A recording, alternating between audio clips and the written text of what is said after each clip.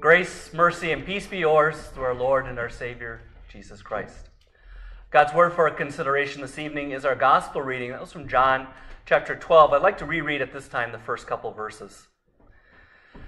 Now there were some Greeks among those who went up to worship at the festival. They came to Philip, who was from Bethsaida in Galilee, and asked him, Sir, we want to see Jesus. So far, God's word. Dear brothers and sisters in Christ, there was a dynamic young pastor who had been called to a rural congregation.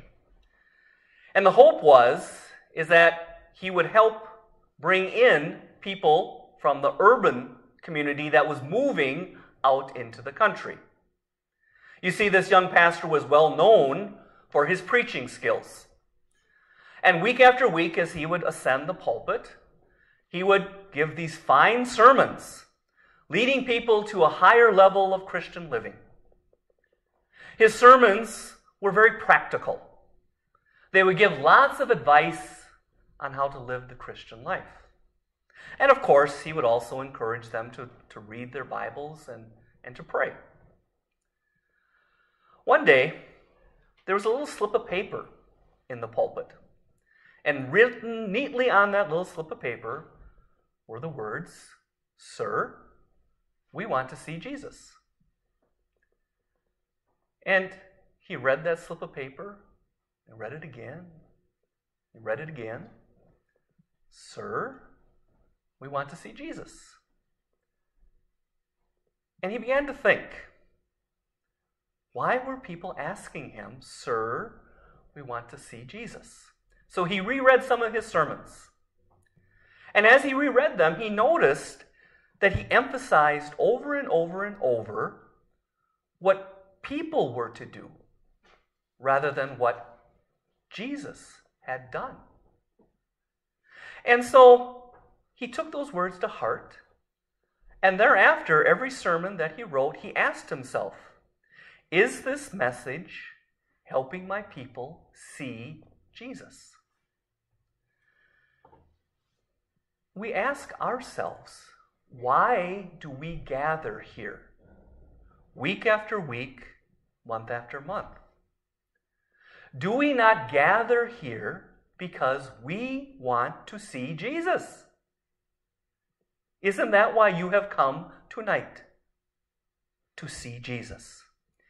Yes, we want to learn how to live Christian lives. We want to learn how to love one another more and more, how to have better families, how to love our God with all of our heart and strength and mind. That is part of it. But the main reason that we gather is simply because we want to see Jesus. We want to see his love for us. We want to see what he's done for us to make us his own. We want to see his glory as our Lord and our God. We want to see Jesus in the sermons that are preached. We want to see Jesus in the hymns that we sing. We want to see Jesus in the readings that we read. We want to see Jesus in the prayers we pray. pray. We want to see Jesus in the sacraments we receive. That's why we come. We come because we want to see Jesus. And when we focus on Jesus, when we focus on our Lord instead of on ourselves, what often happens is our problems, our struggles get smaller and smaller. They diminish. Because we're not so consumed with self, because we focused on Jesus. Sir, we want to see Jesus. In our lesson, we read how some Greeks come to Jerusalem to celebrate the festival of Pentecost. And while they're there, they come to Philip and they ask these very words Sir, we want to see Jesus. Now, we want to understand, it's important to understand that these words of our lesson today happened on Tuesday of Holy Week. So, Jesus and the plan of salvation is quickly coming to his conclusion In three days, Jesus would be led to the cross. Just a little aside, it's interesting to note when Jesus was born, Gentile Christians from the east came because they wanted to come and worship Jesus, the Magi. Now, here Jesus is nearing death. We again see Gentile Christians coming to see Jesus. Sort of the bookends of Christ's life. So, when we understand that this is Tuesday of Holy Week, and that soon Jesus is going to die, these words of our Lord make a little more sense. He says to these men, The time has come for the Son of Man to be glorified. Amen, amen, I tell you, unless a kernel of wheat falls to the ground and dies, it continues to be one kernel. But if it dies, it produces much grain. These words of our Lord are amazing. They're wonderful and they're a little perplexing, maybe, to us if we don't dig a little deeper. Because the Lord is reminding us that He is about to be glorified. Glory is going to be brought to Him. How? Through the cross, through His suffering, through His pain, through His death. And we think to ourselves, how in the world is that glory? That's not glory. That's shame. That's weakness.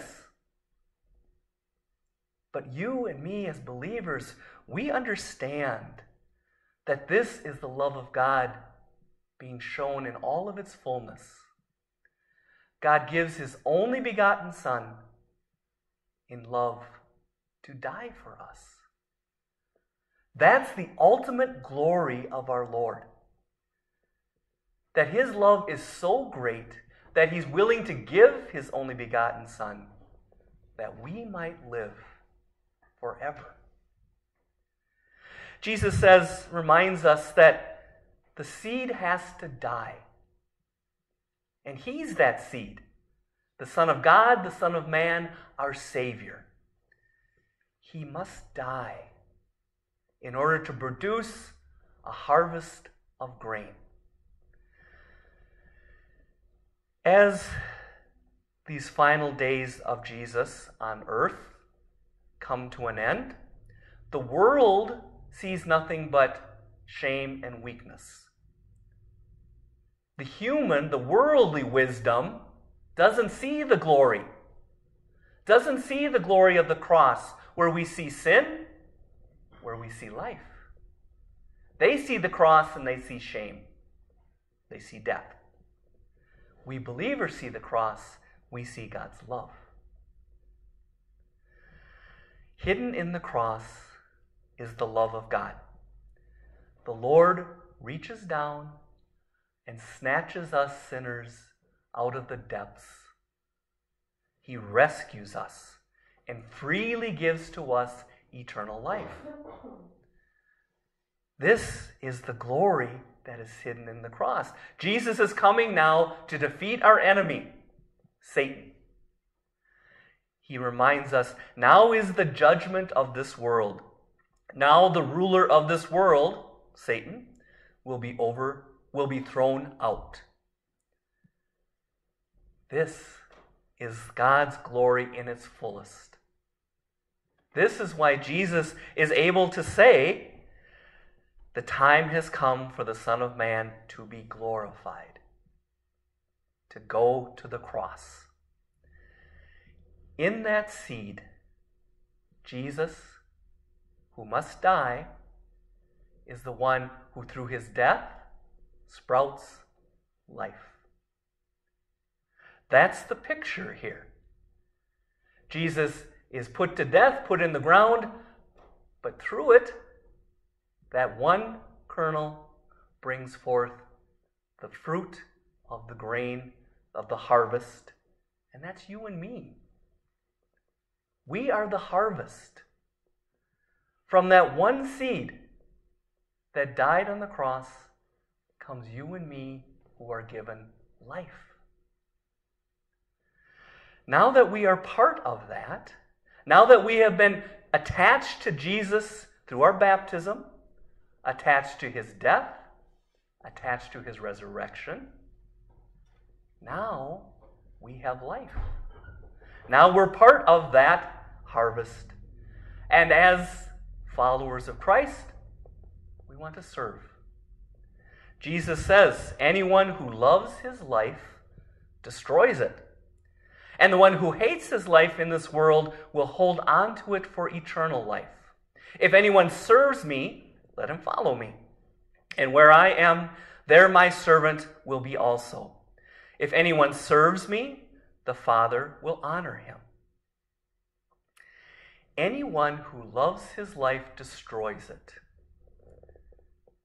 What a very strange thing to say. Anyone who loves his life destroys it. What Jesus is reminding us in those verses is that if our whole focus is to find glory in this life, to love this life on earth, to get all the acclaim, to get all the rewards, to get all the success, to have all the glory that the world holds in esteem, if that becomes our love, in the end, we will destroy ourselves for eternity. He who loves his life destroys it. That's the warning Jesus is giving to us. If our whole existence is about our earthly life and about earthly successes and earthly glory, we will be lost eternally. So he goes on. And the one who hates his life in this world will hold on to it for eternal life. In other words, if we understand that the life on this earth is temporary, that this earthly life is something that will pass away, so why invest everything in this life? Why love this life, hate this life, in the sense we recognize it will pass away? That heaven is our home. We're just pilgrims here on our way to eternal life. So don't invest everything in this life. Jesus says, hate it. And then eternal life will be ours. Love the world that Jesus comes from. Love the eternal world. Our lives are more than just life on this earth. And so that changes our whole way of thinking, does it not? What the world seems as most important, the believer says, no, that's not so important. And what the world says, that's not very important, the believer says, yes, it is. I need to get ready for eternity. I need to, to come to worship, to hear God's word, to receive his sacraments, because that's about my eternal life. Jesus goes on and says a little more about that hating one's life. And please, Jesus is not saying that we're to harm ourselves or to any way bring injury to ourselves, but that we keep that proper perspective of earthly versus eternal life. And that those who want to follow Jesus, they will serve him. And how does how are we to follow? Think of how does a sheep follow their shepherd? They listen to his voice. How do we, the sheep of Jesus, follow him? We listen to his voice. We gladly hear and learn what our God has to say to us. And not only do we gladly hear and learn it, we believe it. We believe the promises of God. We hold on to them. We make them part of our lives. And not only do we hear those words and we hold on to those promises, but then we do them. We obey the commands of our God. That's also part of following our Lord. We listen to His word, we believe it, and we do it. This is how we follow our Lord. our Savior. The life of a Christian is a glorious life. It truly is, even though outwardly it may not seem like it. Think of our Lord. He lived a glorious life. He died a glorious death because it was for us. But it was hidden. It was hidden from the world. We live our Christian lives, in many ways, it also is hidden in glory. It is glorious, but we don't always see that glory, and we won't see it in fullness until heaven. Now, we have to face struggles, setbacks, hardships, and tragedies. That's part of life in a broken world. And even as Christians, we may have to face things because of our faith hatred, ridicule, persecution. That doesn't mean, though, that there is not glory in living the godly life. It's hidden. It won't be fully revealed until eternity. And Jesus reminds us that just like the world hated him, it's going to also hate his followers. He says, If the world hates you, keep in mind it hated me first. No servant is greater than his master. If they persecuted me, they will persecute you also. So you see how those who love life oftentimes leave Jesus behind. They don't want to have to contend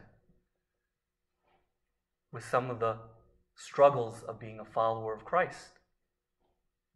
And so they give up and they turn away. But Jesus reminds us there will be glory. He says, And where I am, there my servant will be also. We will be with our Lord in heaven. And if anyone serves me, the Father will honor, will honor him. So as we live our Christian lives, don't be discouraged. Don't be discouraged when you don't get the pat on the back or all the acclaim. Don't be discouraged when maybe others try to, to make you feel bad for doing God's will. Don't be discouraged when causing or following Jesus seems to cause more troubles and, and more hardships. Remember that promise the promise of honor, the promise of glory that will be revealed to all of us and all people on the resurrection. God is not fair. And thank God he isn't. God is not fair. God is not fair because he chose to punish his only begotten Son for our sins. God is not fair because now he judges us in mercy and in grace. We are clothed in the righteousness of Christ. At our baptism, it became ours. Christ's perfection became ours, and he took our sins. We now want to see Jesus. We want to see Jesus every day. We want to see Jesus for all eternity. Because it's through Jesus that we have life and peace and never ending joy. Amen. Please rise.